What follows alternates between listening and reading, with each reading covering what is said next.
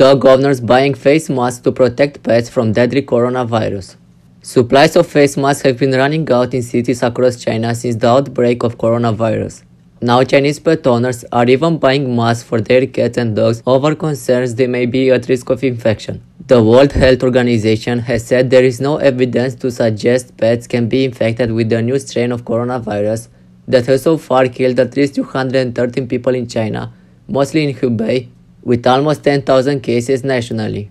But despite reassurance that dogs are unlikely to catch the infection, sales of pet masks are rocketing in China. One Beijing-based online retailer said he is selling 10 times the number of special masks for dogs every day than before. Zhu Tangxiao, 33, started trading Chinese-specific face masks on Chinese e-commerce site Taobao in 2018 to help pets fight air pollution. But since the coronavirus broke out late last month in Wuhan, he has seen his sales volume soaring from 150 masks per month to at least 50 pieces a day, he told Mail Online. He said, most dogs have started to wear masks. Because there is the virus, people pay more attention to their health and their pets' health. The dog masks might not be as professional as the medical masks made for humans, but they are functional.